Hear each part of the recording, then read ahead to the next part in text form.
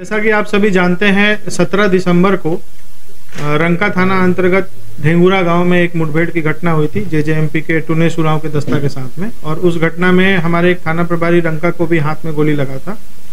और घटना के उपरांत जो सर्च ऑपरेशन चलाया गया था, उसमें एक उग्रवादी पकड़ा गया था और भारी मात्रा में हथियार गोली बरामद हुआ था। इसी क्रम में अभी कुछ दिन पहले गढ़ गढ़वा पुलिस की इनपुट के बिना पर जसपुर छत्तीसगढ़ में इस ग्रुप का जो मेन सरगना था टुने सुराव उसकी गिरफ्तारी हुई थी और उसके पास से भी एक ए के फोर्टी सेवन राइफल बरामद हुआ था और ढेर सारी गोलियाँ बरामद हुई थी। उसकी निशानदेही पे और उसके द्वारा जो कन्फेशन स्टेटमेंट अपना स्वीकारोक्ति बयान दिया गया, उसके आधार पर बताया गया कि उनका ग्रुप का एक मेंबर राहुल केसरी, ये घटना के बाद से आंध्र प्रदेश में भीमावरण में कहीं जा करके वो काम कर रहा है। और इस इनपुट को डेवलप किया गया और इसमें एक सूचना प्राप्त होने पर छापामारी दल का गठन किया गया एस एसडीपीओ रंका के नेतृत्व में। और इनके द्वारा वहाँ आंध्र प्रदेश भीमावरण में जा करके उसको गिरफ़्तार किया गया है और ट्रांजिट रिमांड पे लाया गया है।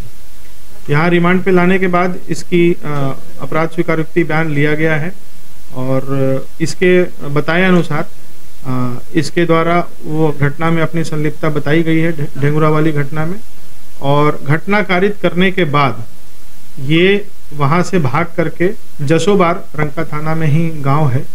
वहाँ इसका एक मित्र रहता है तो उस गाँव की ओर गया। और गाँव से पहले एक जगह पे अपना हथियार पौच गोली ये सब छुपा करके और वहाँ से फिर अपने मित्र के घर से निकल गया। इसी के निशानदेही पे आज सुबह एक टीम का गठन किया गया और जिसमें सीआरपीएफ के 172 बटालियन के ऑफिसर और कर्मी शामिल थे और हमारे जिला पुलिस के लोग थे। इनके द्वारा जसोबार में घेराबंदी कर इस हथियार को बरामद किया गया है। तो इसके निशानदेही पे फ़िलहाल हम लोगों को एक इंसास राइफल और इकतालीस चक्र गोली, चार मैगजीन, जिसमें तीन इंसास का है और एक इंसास एलएमजी का मैगजीन है और एक पौच बरामद किया गया। सर ये हथियार लूटा हुआ है। बिल्कुल ये हथियार ये जेजेएमपी ग्रुप का ही है और इनके द्वारा भी कहीं ना कहीं से ये लूट के ही लाया गया होगा। हम लोग इसका आर्सनल नंबर से अभी इसको वेरीफाई कर रहे हैं कि किस घटना में अ, ये इस हथियार को लूटा गया है। ये पुलिस का हथियार है। पूरी तरह से खत्म हो गया। बिल्कुल इनके पाँच गिरोह में लोग थे जेजेएमपी में जो कि यहाँ अपना एक संगठन को खड़ा करने का और विस्तार करने की कोशिश कर रहे थे। लगातार आप लोग भी जानते हैं ये लोग संवेदकों को भी धमकी दे रहे थे। कई जगह इन्होंने घटना भी किया है। तो पाँच लोग थे पाँचों लोग गिरफ़्तार हो चुके हैं और कुल मिलाकर के काफ़ी मात्रा में इनके पास से अब तक हथियार और गोली बरामद की गई है जिसमें ए के फोर्टी सेवन और इंसास जैसे ऑटोमेटिक राइफल भी है। तो पुलिस लूटा हुआ हथियार हाँ ए के फोर्टी सेवन और जो इंसास बरामद हुआ है ये कहीं ना कहीं पूर्व में पुलिस से लूटा गया होगा हम लोग इसका जाँच पड़ताल करते हैं।